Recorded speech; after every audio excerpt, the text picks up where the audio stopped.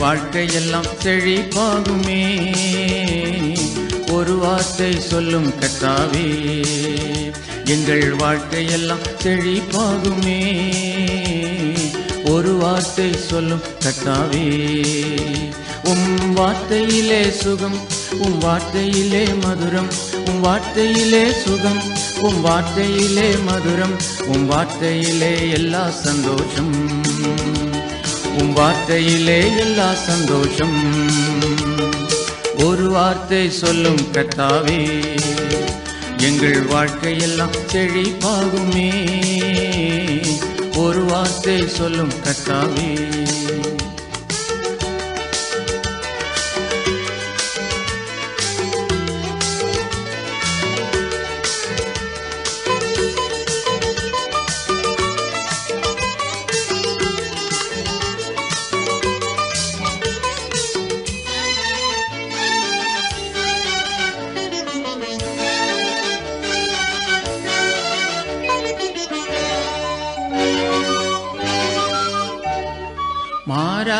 தண்ணீரெல்லாம் மதுரமாக மாறி போகும். மாறாவின் தண்ணீரெல்லாம் மதுரமாக மாறி போகும். கண்ணீர் மாறிடும் துக்கம் மாறிடும் கண்ணீர் மாறிடும் துக்கம் மாறிடும். ஒரு வார்த்தை சொன்னால் போதுமே. வார்த்தை சொன்னால் போதுமே. ஒரு வார்த்தை சொல்லும் கட்டாவே. எங்கள் வாழ்க்கையெல்லாம் செழிப்பாகுமே ஒரு வார்த்தை சொல்லும் கட்டாவே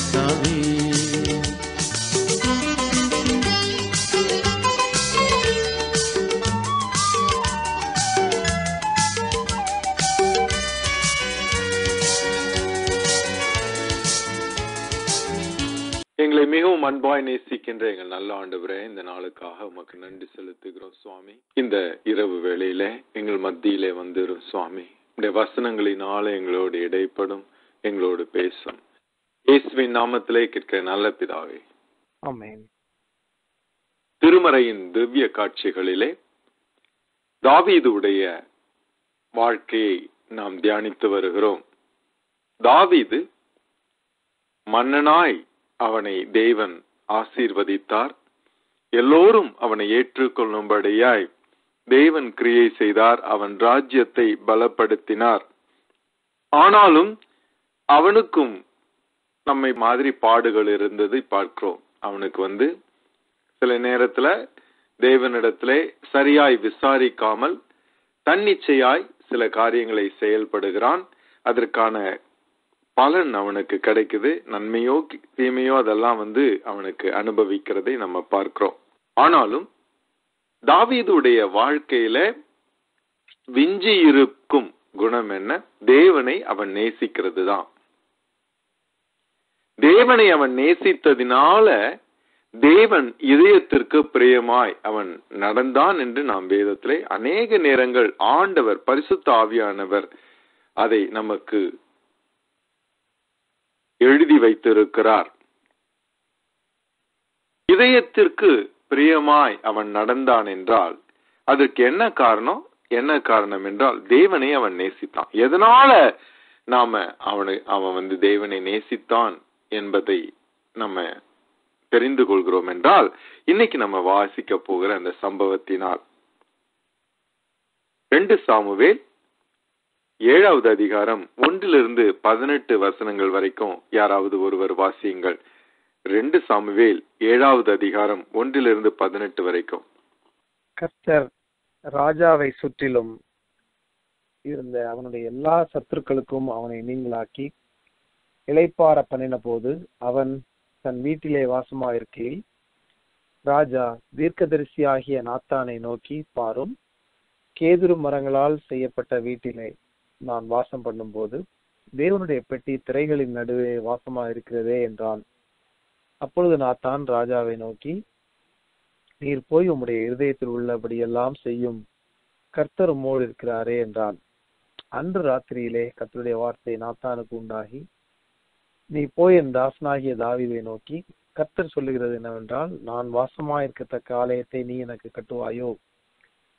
நான் இஸ்ரேல் புத்திரரை எகிப்திலிருந்து புறப்பட பண்ணின நாள் முதற்கொண்டு இந்நாள் வரைக்கும் நான் ஒரு ஆலயத்திலே வாசம் பண்ணாமல் கூடாரத்திலும் வாசஸ்தலத்திலும் உலாவினேன். நான் இஸ்ரேலாகிய என் ஜனத்தை மேய்க்கும்படி கட்டளையிட்ட இஸ்ரேல் கோத்திரங்களில் ஒரு கோத்திரத்தையாவது நோக்கி நீங்கள் எனக்கு கேதுரு மரத்தால் செய்யப்பட்ட ஆலயத்தை கட்டாதிருக்கிறது என்ன? என்று நான் இஸ்ரேல் புத்திரருக்குள் உலாவி வந்த எவ்விடத்திலாவது யாதொரு வார்த்தையை சொன்னதுண்டோ? இப்போதும் நீ என் தாசனாகிய தாவிதை நோக்கி சேனைகளின் கர்த்தர் சொல்லுகிறது என்னவென்றால் நீ இஸ்ரவேல் என்கிற என் ஜனங்களுக்கு அதிபதியா இருக்கும்படி ஆடுகளின் பின்னே நடந்த உன்னை நான் ஆட்டு மந்தையை விட்டு எடுத்து நீ போன எவ்விடத்திலும் உன்னோடு இருந்து உன் சத்துருக்களை எல்லாம் உனக்கு உண்டாக நிர்மூலமாக்கி பூமியில் இருக்கிற பெரியோர்களின் நாமத்திற்கு ஒத்த பெரிய நாமத்தை உனக்கு உண்டாக்கினேன். நான் என் ஜனமாகிய இஸ்ரவேலுக்கு ஒரு இடத்தை ஏற்படுத்தி அவர்கள் தங்கள் ஸ்தானத்திலே குடியிருக்கவும் இனி அவர்கள் அலையாமலும் முன்போலும் நான் என் ஜனமாகிய இஸ்ரவேலின் மேல் நியாயாதிபதிகளை கட்டளையிட்ட நாள் வரையில் நடந்தது போலும் நியாயக்கேட்டின் மக்களால் இனி சிறுமைப்படாமலும் இருக்கும்படி அவர்களை நாட்டினேன். உன்னுடைய எல்லா சத்துருக்களுக்கும் உன்னை நீங்களாக்கி இழைப்பாரவும் பண்ணினேன். இப்போதும் கர்த்தர் உனக்கு வீட்டை உண்டு பண்ணுவார் என்பதை கர்த்தர் உனக்கு அறிவிக்கிறார். உன் நாட்கள் நிறைவேறி நீ உன் பிதாக்களோடே நித்திரை பண்ணும்போது நான் உனக்கு பின்பு உன் கற்ப பிறப்பாகிய உன் சந்ததியை எழும்ப பண்ணி அவன் ராஜ்யத்தை நிலைப்படுத்துவேன். அவன் என் நாமத்திற்கென்று ஒரு ஆலயத்தை கட்டுவான். அவன் ராஜ்ய பாரத்தின் சிங்காசனத்தை என்றைக்கும் நிலைக்க பண்ணுவேன். நான் அவனுக்கு பிதாவாயிருப்பேன். அவன் எனக்கு குமாரனாயிருப்பான். அவன் அக்கிரமம் செய்தால் நான் அவனை மனுஷருடைய மிலாற்றினாலும் மனுப்புத்திரருடைய அடிகளினாலும் தண்டிப்பேன். உனக்கு முன்பாக நான் தள்ளிவிட்ட சவுலினிடத்திலிருந்து என் கிருபையை விளக்கினது போல அவனை விட்டு விலக்க மாட்டேன். உன் வீடும் உன் ராஜ்யமும் என்றென்றைக்கும் உனக்கு முன்பாக ஸ்திரப்பட்டிருக்கும் உன் ராஜாசனம் என்றென்றைக்கும் நிலை பெற்றிருக்கும் என்கிறார் என்று சொல்ல சொன்னார். நாத்தான் இந்த எல்லா வார்த்தைகளின்படியும் இந்த எல்லா தரிசனத்தின்படியும் தாவீதுக்கு சொன்னான். அப்பொழுது தாவீது ராஜா உட்பிரவேசித்து கர்த்தருடைய சமூகத்திலிருந்து கத்ராகி ஆண்டவரே தேவரீர் என்னை இதுவரைக்கும் கொண்டு வந்ததற்கு நான் எம்மாத்திரம் என் வீடும் எம்மாத்திரம் என்பதை. தாவீது அவனுடைய வாழ்க்கையில கனவுகள் காண்பவனா இருந்தான் என்பதை நம்ம பார்க்கிறோம். அவனுடைய கண்கள் கனவுகள் நிறைந்ததா இருந்தது. ரொம்ப ஞானவானாய் இருந்தான். தேவனிடத்திலே அதிக அன்பு வைத்திருந்தான். ஒரு பெரிய லீடர்ஷிப் உள்ள ஒருவருக்கும் ஒரு சாதாரண மனிதர்களுக்கும் என்ன வித்தியாசம் என்றால் ஆளுமை இல்லை வந்து ஒரு பெரிய தலைவனாக இருப்பவர்களுக்கு ஒரு தரிசனம் இருக்கும். எதை குறித்தும் அவர்களுக்கு வந்து இப்படி செய்யலாம் இப்படி செஞ்சா இத்தனை பேருக்கு நன்மை இருக்கும். இப்படி செய்தால் நாம் ஆண்டவருடைய பக்தியை நாம் வந்து விருத்தி செய்யலாம். இப்படி செய்தால் தேவனுடைய ராஜ்யத்திற்கு பிரயோஜனமாய் நாம் நட அந்த யோசனைகள் தான் அவர்களிடத்துல போய்க்கொண்டே இருக்கும். அவர்களுக்கு வந்து சாதாரணமாய் யோசிக்க தெரியாது. அசாதாரணமாய் அவர்கள் யோசிப்பார்கள். தாவிதுக்கு அவனுக்கு வந்து தன்னுடைய வீட்டை பார்க்கையிலே தேவனுக்கு வீடு இல்லாமல் இருப்பது அவனுக்கு மனதில் உறுத்தியது. இப்போ நம்மிடத்துல வந்து நான் என்னுடைய அலுவலக அறையை நான் அலங்கரிக்கும் போது நான் இப்படி யோசித்தேன். எதை அங்கு நான் வைத்தாலும் அதை காணும்போது அது வந்து என்னை இன்ஸ்பயர் பண்ணணும் அப்படின்னு சொல்லி யோசிப்பேன் நான். எந்த ஒரு ஒரு புகைப்படமா இருந்தாலும் சரி இல்லை தேவனுடைய வசனமா இருந்தாலும் சரி இல்லை புத்தகங்களை நான் வரிசையாய் அடுக்கி வைத்திருக்கிறதா இருந்தாலும் சரி அதை பார்க்கும்போது எனக்குள்ளாக ஒரு தரிசனத்தை அது எழுப்ப வேண்டியதா இருக்கும் அப்படிதான் நான் வந்து யோசிப்பேன். அதே மாதிரி நம்ம பல்வேறு இடங்களிலே சுற்றுலா செல்கிறோம். சுற்றுலா செல்லும் போது கூட நாம் பார்க்கும் காரியங்கள் நம்முடைய இதயத்தை கொழுந்து விட்டு எழிய பண்ணும்படியாய் ஒரு இன்ஸ்பயரிங்கா இருக்கணும். அப்பதான் வந்து நம்ம எந்த ஒரு அதாவது நீங்க வந்து யோவான் ஸ்தானிகனை போய் பார்க்க போனீர்கள் என்று சொல்லி ஆண்டவர் சொல்லுகிறார். நீங்க எதுக்காக யோவான் சாணிகனை போய் பார்க்க போறீங்க? நல்ல வஸ்திரங்கள் தரிக்கும்படியான ஆட்களை வந்து பார்க்கணும்னா நீங்க அரண்மனையில போய் பார்க்கலாமே. எதற்காக? யோவான் சாணிகனை போய் பார்த்தீங்க. அவன் வந்து ஒட்டக மயிரினாலே ஒரு இதை போட்டு சணல் துணியால போட்டுட்டு ஒரு மாதிரி ஆடைகளை தரித்திருந்தான். மெல்லிய வஸ்திரம் தரித்தவனா இல்லை அவன். பார்ப்பதற்கு நல்ல அழகான தோட்டம் அவனுக்கு இல்லை. ஆனாலும் நிறைய பேரு அவனை காண்பதற்காக அவனுடைய வார்த்தைகளை கேட்பதற்காக போகிறார்கள். எதற்காக போகிறார்கள் என்று ஆண்டவர் அவர்களை கேட்கிறார். ஏன் பார்க்கிறோம்? அதே மாதிரி நாம் காணும் பொருட்கள் எல்லாம் நம்முடைய தரிசனத்தை இன்ஸ்பயர் பண்ண வேண்டியதா இருக்கும். தாவிது தன்னுடைய அரண்மனையை பார்க்கிறான். தன்னுடைய அரண்மனையை பார்க்கும்போது அவனுக்கு என்ன மாதிரி இன்ஸ்பிரேஷன் வருதுன்னு பாருங்க. நேபுகாத் நேச்சார் தான் கட்டின அரண்மனையையும் தான் கட்டின அந்த நகரத்தையும் பார்த்து இப்படி நினைத்ததாக நாம் வேதத்திலே வாசிக்கிறோம். நான் கட்டியதல்லவா இந்த மகாபாபிலோன் என்று சொல்லி. அதாவது சரியான காரியங்களை பார்க்கும்போது தவறான உணர்வுகள் மனிதர்களுக்கு வருகிறது. அந்த உ- உணர்வுகளை ஏற்றுக்கொண்டு அந்த அந்த உணர்விலே மகிழ்ந்திருப்பது தவறு. நான் கட்டியதல்லவா? இந்த மகாபாபிலோன் என்று சொல்லி அந்த உணர்விலே திளைத்திருந்தான்.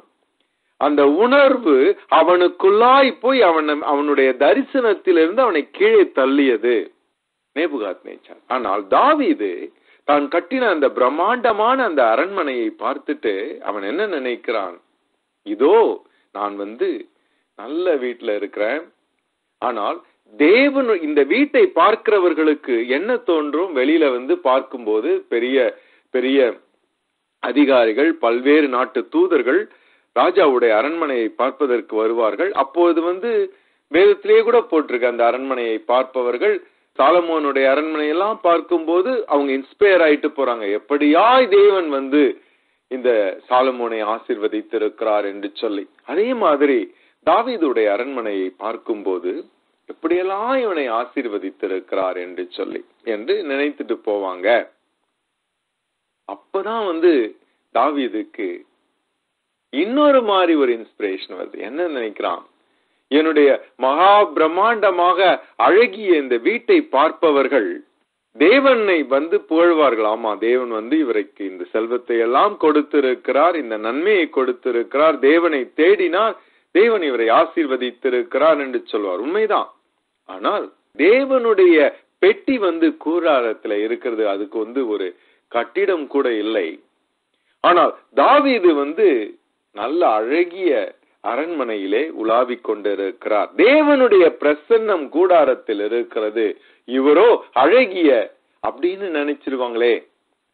எதை செய்தாலும் ஒரு இன்ஸ்பிரேஷன் நமக்கு வேண்டும். நான் இதை அடிக்கடி சொல்லுவேன்.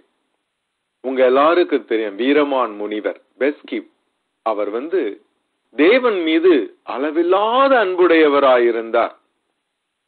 இந்த ஜனங்களை வந்து நம்ம சந்திக்க வேண்டும் என்றால் எப்படி சந்திக்கலாம் என்று பார்த்தார். அப்போ அந்த காலத்துல வந்து நிறைய மடாதிபதிகள் மிகுந்த செல்வந்தர்களாயிருந்தார்கள். மடாதிபதிகள் வந்து அரசன் அளவிற்கு செல்வம் உடையவர்களா இருந்தார்கள் ஏனென்றால் நிறைய பேர் அவர்களிடத்துல கொண்டு போய் காணிக்கைகளை கொடுப்பார்கள். அவர்களுக்கு நிறைய பேர் சொத்தை எழுதி வைப்பார்கள். ஏனென்றால் அவங்க வந்து தேவனுடைய தூதுவர்களாய் நிறைய பேர் நினைத்து கொண்டிருந்தார்கள். ஆ கடவுளை வந்து ப்ளீஸ் பண்றதுக்காக இவர்களிடத்துல கொண்டு போய் தங்களுடைய உழைப்பை எல்லாம் கொடுத்து ஜனங்கள் வந்து சந்தோஷப்படுவார்கள். அதை பக்தி என்று நினைத்தார்கள். அந்த மாதிரி மடாதிபதிகள் வந்து அவர்களோட அவர்கள் வந்து பல்லக்கிளை வருவார்கள் தங்க பல்லக்கிளை வருவார்கள். அவர்கள் நிறைய ஆபரணங்களை அடைந்திருப்பார்கள் மெல்லிய வஸ்திரம் தளித்திருப்பார்கள். அந்த காட்சியை வந்து பார்ப்பதே கண்கொளா காட்சியாக இருக்கும். அதனால ஏழை பாழை ஜனங்கள் இந்த மடாதிபதிகளும் அந்த மாதிரி ஒரு பிரம்மாண்டமான ஒரு காட்சியை வந்து அவர்கள் வந்து தாங்கள் போகும் இடங்களெல்லாம் அவர்களை அதை ஏற்படுத்துவார்கள். இதை பார்ப்பவர்களுக்கு ஒரு தரிசனம் இருக்கும். இது என்னடா எவ்வளோ பெரிய ஆளு. இவருடைய ஞானம் ஜாஸ்தி. இவருடைய மகிமை அதிகம். இவருடைய தேஜஸ் எவ்வளவு அதிகமா இருக்கிறது என்றெல்லாம் ஜனங்கள் பேசி அதனால அந்த மடாதிபதி சொல்லும் காரியத்தை ஒன்றி கவனிப்பார்கள். இதை வந்து வீரமாமுனிவர் பார்த்திருக்கிறார். அதனால அவருக்கு ஒரு எண்ணம் தோன்றி என்னன்னா எப்படி இந்த மடாதிபதிகள் ஒரு ஆடம்பரத்தை கொண்டு ஜனங்களை கவர்கிறார்களோ அதே மாதிரி நாமும் அந்த தோற்றத்தை வைத்து ஏன் ஆண்டவருடைய வசனங்களை அவருடைய நற்செய்தியை சொல்லக்கூடாது என்று சொல்லி அதே மாதிரி தங்க பல்லக்கு எடுத்து அதே மாதிரி ஆடை அவ- ஆபரணங்களை பூண்டு உங்களுக்கு எல்லாருக்கும் தெரியும் தேம்பாவணி எழுதி அநேக இலக்கியங்களை படைத்து நிறைய பேரை ஆண்டவருடைய அன்புக்குள்ளாய் கொண்டு வந்தார் என்பது சரித்திரம் கூறும்.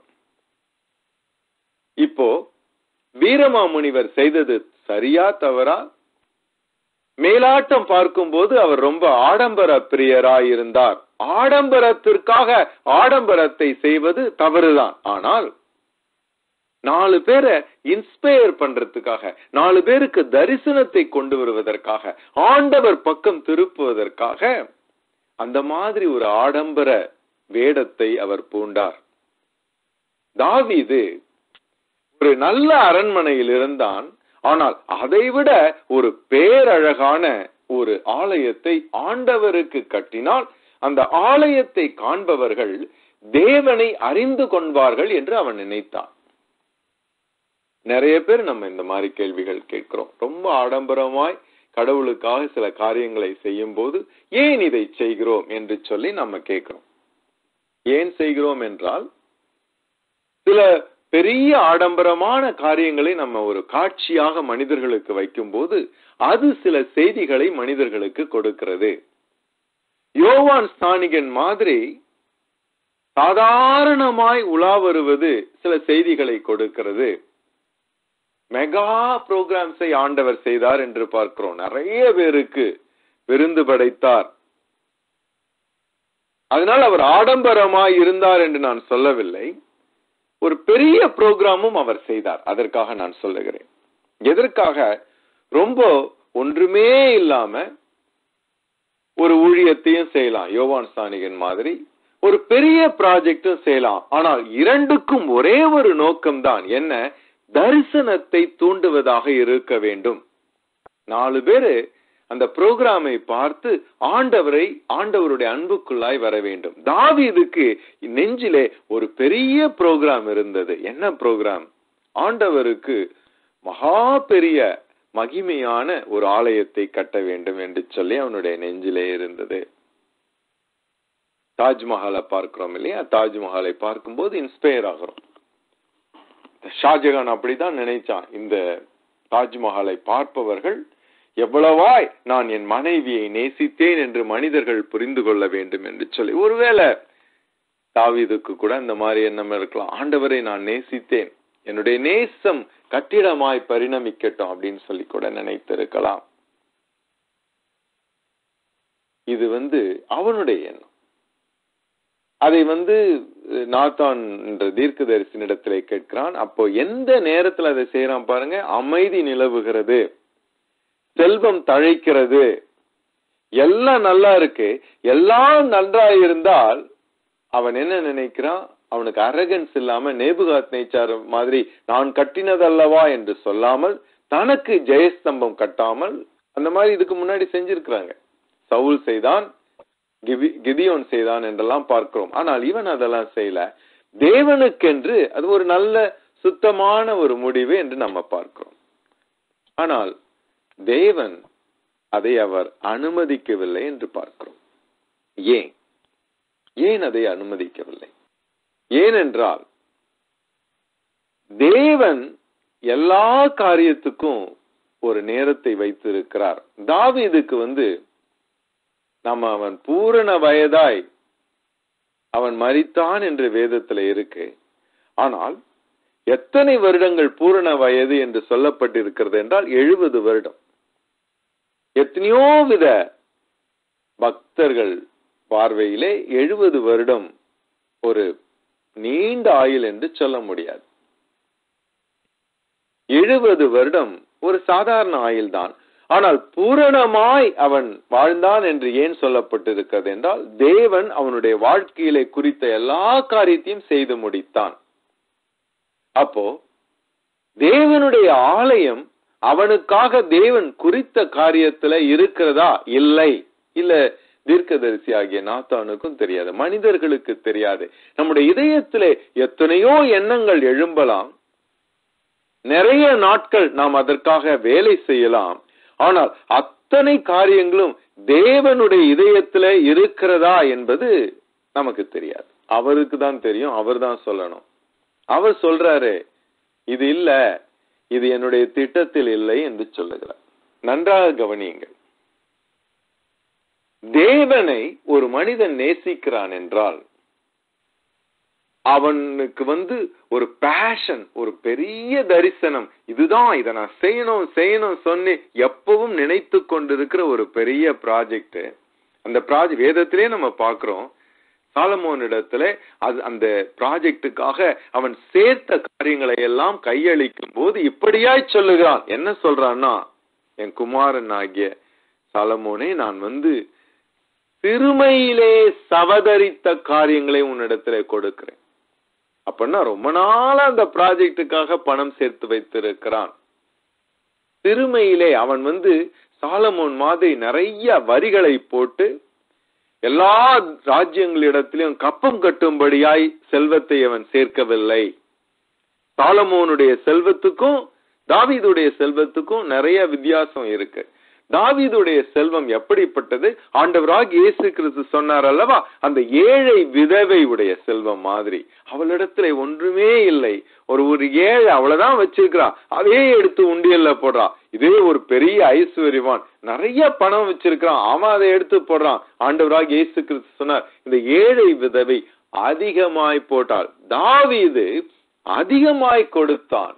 ஏன் அதிகமாய் கொடுத்தான் என்று சொல்லுகிறேன் என்றால் வேதத்திலே போட்டிருக்க. அவனே சொல்றான் என் சிறுமையில் சவதரித்த காரியங்கள் என் ஏழ்மையில் ஆண்டவருக்காக நான் சேர்த்த காரியங்களை எல்லாம் உனக்கு கொடுக்கிறேன். இதுக்கு விலையேற பெற்றது இது. ஏன்? ஆண்டவருடைய பார்வையில இது விலையேற பெற்றது நேரமே உங்களுக்கு இல்லைன்னு வச்சுக்கிடுங்க ஆறு நாளும் வேலை செய்யறீங்க உருக்க வேலை வாங்கிடுறாங்க உங்களை. இந்த நாட்டுல வந்து நம்ம சர்வைவ் ஆகிறதுக்கு இவ்வளவு உழைக்க வேண்டியது இருக்கு. அப்போ ஒரு ரெண்டு அவர் ஆண்டவருக்காக நீங்க செலவு பண்றது ஆண்டவருடைய பார்வையிலே விலையேற பெற்றதா இருக்கும். ஏன்? நம்மிடத்திலே நேரமே இல்லாத ஒரு சூழ்நிலையிலே ஆண்டவருக்காக அந்த நேரத்தை கொடுக்கிறோம். அவர் சந்தோஷப்பட்டு ஆசிர்வதித்து உங்களுக்கு நேரத்தை பெருக பண்ணுவார். சில பேரு நான் பார்த்து இருக்கிறேன் ஐந்து அஞ்சு மணி நேரம் கூட வேலை செய்ய மாட்டேங்கிறாங்க. ஆனால் நல்லா காம்பன்சேட் ஆறாங்க. ஏன்னா அந்த அவங்களுடைய ஜாப் அந்த மாதிரி. நிறைய நேரங்கள் வந்து வாட்ஸ்அப் பார்க்கறது ஃபேஸ்புக் பாக்குறது இந்த மாதிரி வம்பு காரியங்களை இதே தான் அவங்க அவங்களுக்கு வந்து நிறைய நேரம் இருக்கு. அந்த மாதிரி ஆளுங்களுக்கு அவங்க ரெண்டு மணி இவங்களும் ரெண்டு மணி நேரம் அவங்களும் ரெண்டு மணி நேரம் கொடுக்கறாங்கன்னா ரெண்டும் வந்து ஈக்குவல் கிடையாது. ரெண்டும் சமம் கிடையாது ஆண்டவருடைய பார்வையிலே. நமக்கு அதிகம் நேரம் கொடுத்திருக்கிறார் என்றால் நாம் அதிகமாய் ஆண்டவருக்கு செய்ய வேண்டும். நமக்கு சிறுமை இருக்கிறது. அந்த சிறுமையிலிருந்து தேவனுக்கு நாம் கொடுப்பதற்கு பாக்கியம் செய்தவர்களாய் இருக்கிறோம். ஏனென்றால் அதை தேவன் விலையேற பெற்றதாய் வைத்திருக்கிறார். அவர் பார்க்கிறார். அவர் பார்த்து கொண்டே இருக்கிறார். சிறுமையில் நான் சவதரித்த காரியங்கள் அப்படின்னா ரொம்ப நாளா கொஞ்சம் கொஞ்சமா கொஞ்சம் கொஞ்சமா அவன் வந்து சேர்த்து வைத்திருக்கிறான். அவனுக்கு கிடைச்ச பங்கு கற்கள் விலையேற பெற்ற கற்கள். அந்த கற்கள்லாம் எல்லாரும் எல்லா எல் வேதத்துல நம்ம பார்க்கோம் அவனோட வந்து கிட்டத்தட்ட நானூறு பேர் கூடவே வந்துட்டு இருந்தாங்க. எல்லாம் பகிர்ந்து கொண்டார்கள் என்று பார்க்கிறோம். தான் தான் வந்து தலைவன் என்றதுனால எல்லாத்தையும் எடுத்து தான் பக்கம் வச்சுக்கணும்ன்ற மாதிரி ஒரு சிஸ்டம்லாம் அவன் கொண்டு வரல. பகிர்ந்து கொடுத்தான். அவனுக்குன்னு ஒரு ஷேர் இருந்திருக்குது. அப்போ அந்த ஷேரை மற்றவங்களாம் என்ன செஞ்சாங்க? மற்றவங்களாம் செலவழித்து போட்டார்கள். தாவீது என்ன செய்தான்? தாவீது வந்து சேர்த்து வைத்தான். வேதத்துல தான் போட்டிருக்கு. யாருக்காக சேர்த்து வைத்தான்? அவன் நேசிக்கின்ற ஆண்டவருக்காய் சேர்த்து வைத்தான். அதெல்லாம் கொஞ்சம் கொஞ்சமாய் அவன் சேர்த்து வைத்தான். வாழ்நாள் ஃபுல்லா தன்னுடைய ராஜ்யபாரம் இருந்த நாட்கள் எல்லாம் சேர்த்து வைத்தான். இப்பதான் அந்த ப்ராஜெக்ட் வந்து ஸ்டார்ட் ஆக போகுது இனிஷியேட் ஆக போகுது.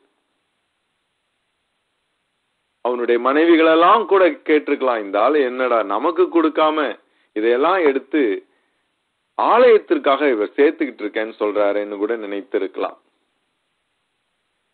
ஆனா அவனுடைய நெஞ்சிலே கனண்டு கொண்டிருந்தது அந்த எண்ணம். ஆண்டவர் வந்து அதெல்லாம் ஏற்றுக்கொண்டாரா? ஏற்றுக்கொண்டார். உன்னுடைய கிஃப்ட் எல்லாம் எனக்கு வேண்டாம்னு சொல்லல அவர்.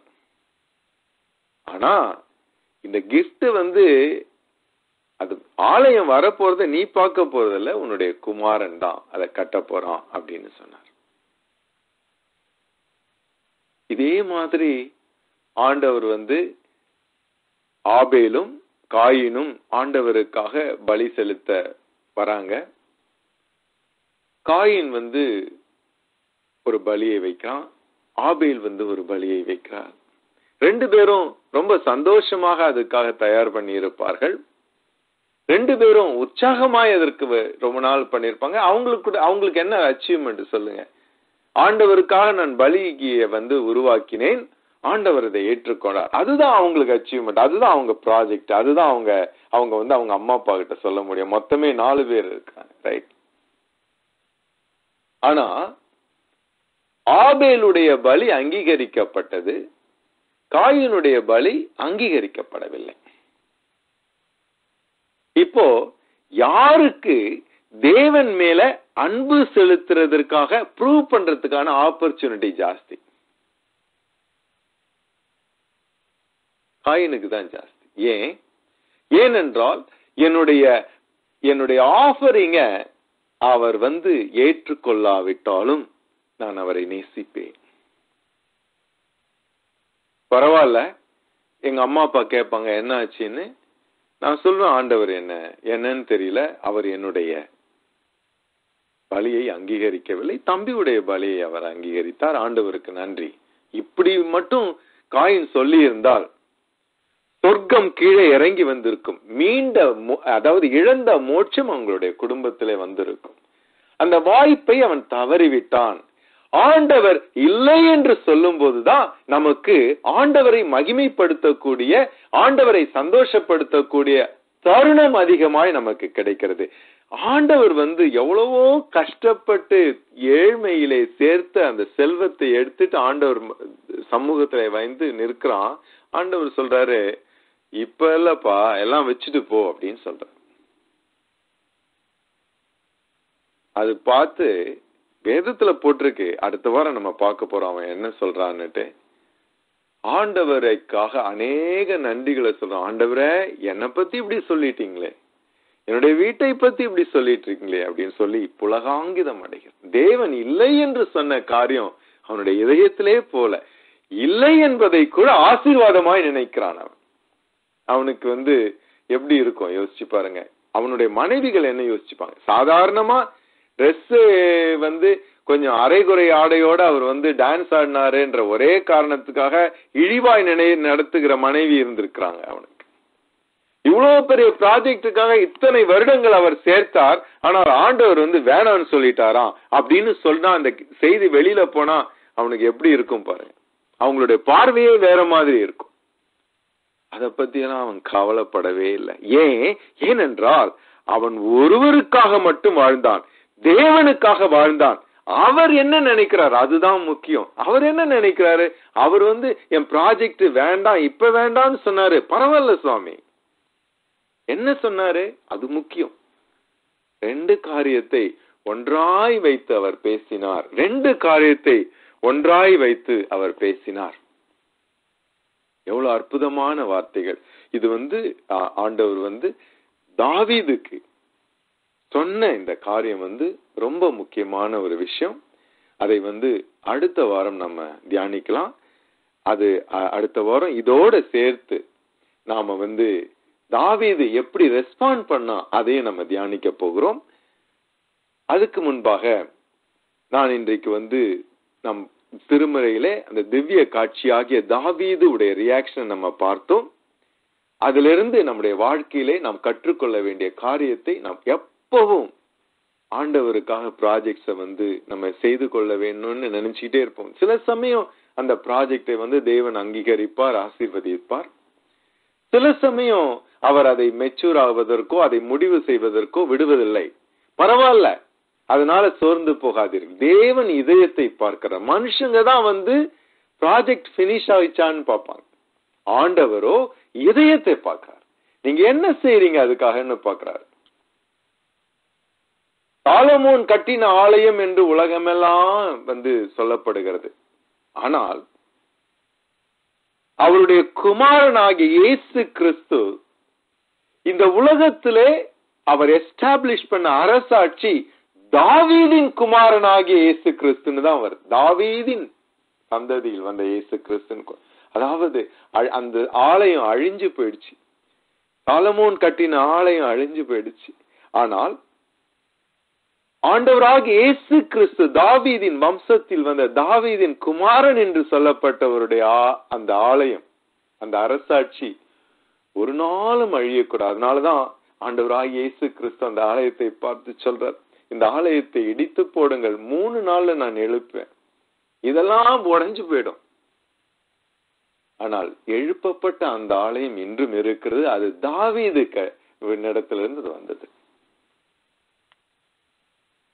ஆண்டவர் எவ்வளவு பெரிய ஆசீர்வாதத்தை அவனுக்கு கொடுத்தார். அவர் இல்லை என்ற அந்த வார்த்தையிலே அருளும் ஆசீர்வாதமும் பொதிந்திருக்கிறது. நம்முடைய வாழ்க்கையில கூட சில சமயம் அவர் இல்லை என்று சொல்வதிலே எத்தனையோ ஆசீர்வாதங்கள் ஆயிரக்கணக்கான கோடிக்கணக்கான ஆசீர்வாதங்கள் இருக்கிறது. நமக்கு தெரியாது ஆனால் பரிசுத்த ஆவியானவருக்கு தெரியும். அதனாலதான் அந்த அந்த அம் வரப்போகிற அந்த ஆசீர்வாதங்களை இந்த இல்லை என்ற அந்த ஒருவா அந்த பதில்ல இருக்கிற ஆசீர்வாதங்களை பரிசு தாவியானவர் தாவீதுக்கு உணர்த்தினதினாலே அப்படியே நெஞ்சம் வந்து உணர்ச்சியினாலே துள்ளி அவன் வந்து ஒரு அருமையான சங்கீதத்தை மாறி ஒரு அற்புதமான வசனங்களை சொல்கிறான். அதை நம்ம வந்து அடுத்த வாரம் தியானிக்க போகிறோம். நல்ல ஆண்டவரை இந்த நாளுக்காக நன்றி செலுத்துகிறோம் சுவாமி. நீர் எங்களை எவ்வளவாக நேசிக்கிறீர் சுவாமி. எங்களை உள்ளங்கையிலே வரைந்திருக்கிறீர் அப்பா. எங்களுடைய இதயத்தில் இருக்கிற எல்லா ப்ராஜெக்டும் உங்களுடைய சமூகத்திற்கு முன்பாக இருக்கிறது சுவாமி. சில சமயம் நீங்க அதை அங்கீகரிக்கிறீங்க. சில சமயம் நீங்க அங்கீகரிக்கல சுவாமி. எது நடந்தாலும் ஆண்டவரே உடைய வா உம்முடைய கரத்தில் இருந்து உடைய வார்த்தைகள் ஆண்டவரே இருக்கு என்று சொன்னாலும் இல்லை என்று சொல்லாலும். நீர் எங்களை நேசிப்பதெல்லாம் ஆம் என்றும் ஆமேன் என்றும் இருக்கிறது சுவாமி.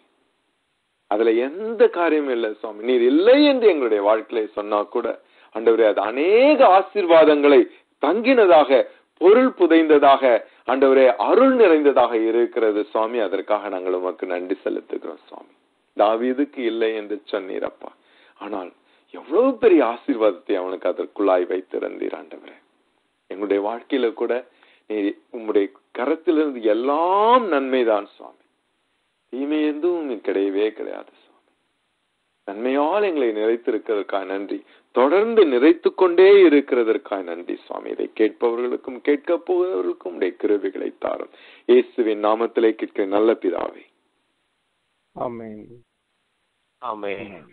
ஆமென். இருளான வாழ்க்கை எல்லாம் செழிப்பாக மாறி போகும். இருளான வாழ்க்கை எல்லாம் செழிப்பாக மாறி போகும். கண்ணீர் மாறிடும் துக்கம் மாறிடும் கண்ணீர் மாறிடும் துக்கம் மாறிடும். ஒரு வார்த்தை சொன்னால் போதுமே. ஒரு வார்த்தை சொன்னால் போதுமே. ஒரு வார்த்தை சொல்லும் கட்டாவே எங்கள் வாழ்க்கையெல்லாம் தெளிப்பாகுமே ஒரு வார்த்தை சொல்லும் கத்தாவே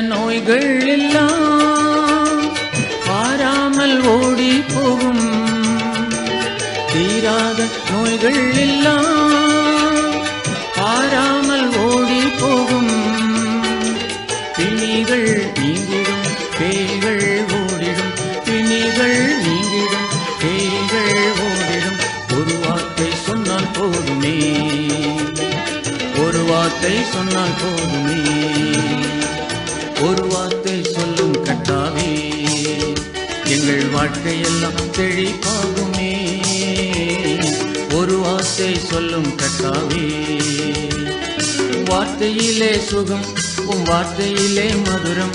உன் வார்த்தையிலே சுகம் உன் வார்த்தையிலே மதுரம். உன் வார்த்தையிலே எல்லா சந்தோஷம். உன் வார்த்தையிலே எல்லா சந்தோஷம். ஒரு வார்த்தை சொல்லும் கட்டாவே எங்கள் வாழ்க்கையெல்லாம் செழிப்பாகுமே ஒரு வார்த்தை சொன்னீர் கர்த்தாவே.